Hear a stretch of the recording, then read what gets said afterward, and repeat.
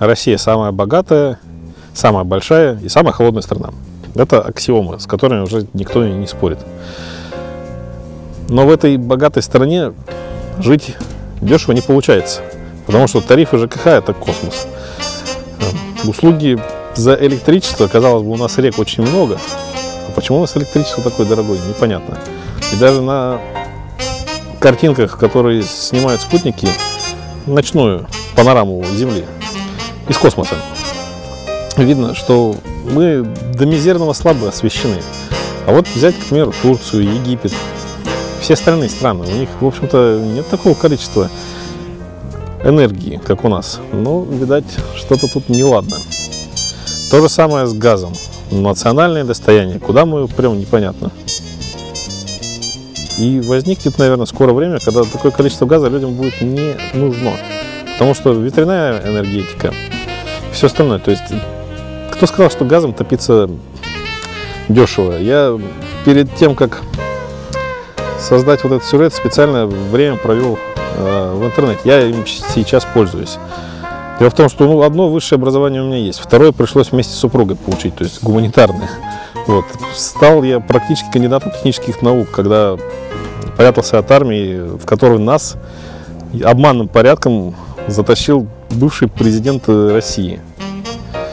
Вот, то есть э, и вроде и знания есть, и все равно их не хватает. И вот я посмотрел и задал вопрос, а как же э, жила страна, которая умудрилась э, татаро-монгольскому иго, ну так, отправить подальше, Наполеону кое-что надрать, а в последней мясорубке 20 века показать всем, что ну, мы мощнее.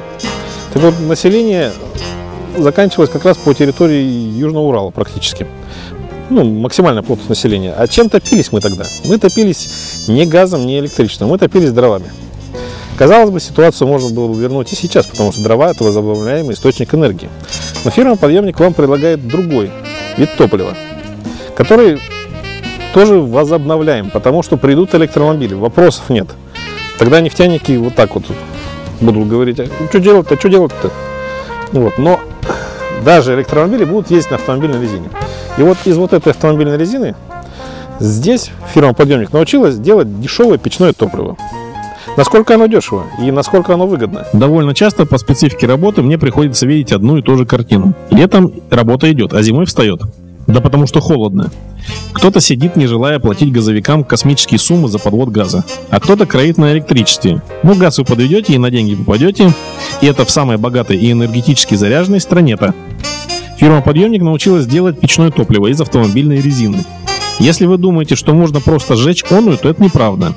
Дело в том, что пиролизная установка на выходе дает А. Саму энергию, Б. Металл из каркаса, В. Углерод, из которого вы уже можете делать фильтрующие элементы и промышленные алмазы, и Г.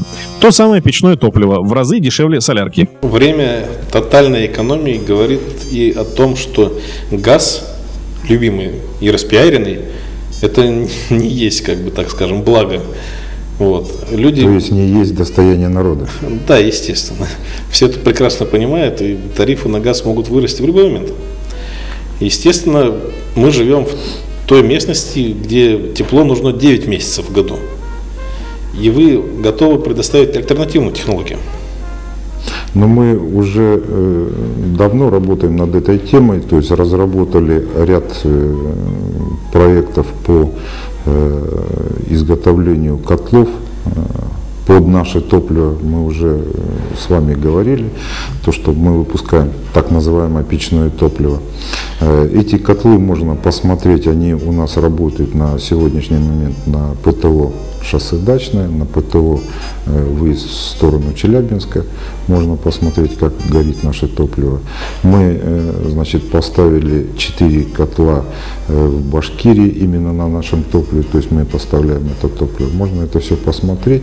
Ну и если кто-то заинтересуется, мы можем полностью все рассказать, показать.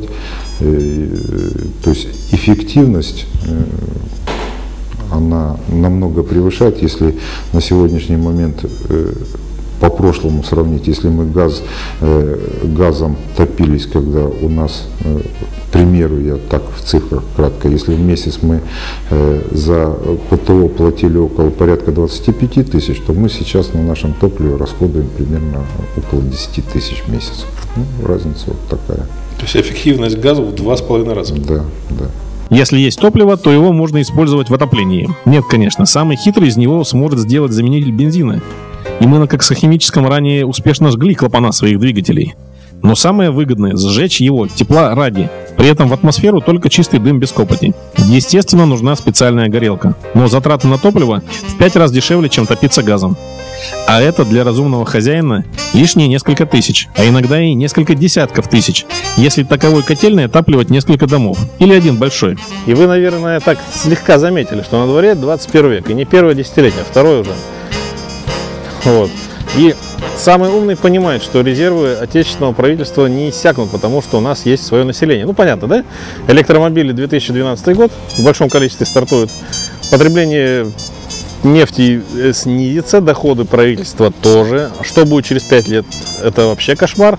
Все молятся на газ. Но газ это та самая игла, которую можно, скажем так, все глубже и глубже вводить в тело больного пациента, доставляя ему невыносимые страдания путем увеличения тарифов. И пациент, он, да ему деваться некуда, он же живет на территории России, ему тепло нужно, ему обязательно газовое тепло нужно, он голову не хочет включать. Вот это модульная котельная. Вы можете посмотреть, как она устроена, просто приехал сюда на пункт технического осмотра на шоссе Дачное, ну, тоже подразделение фирмы «Подъемник». То есть э, сверху стоит бак, куб вот этого печного топлива. За две недели вот эти замечательные холода, а площадь отапливаемого помещения это несколько тысяч квадратных метров, израсходовано всего половина.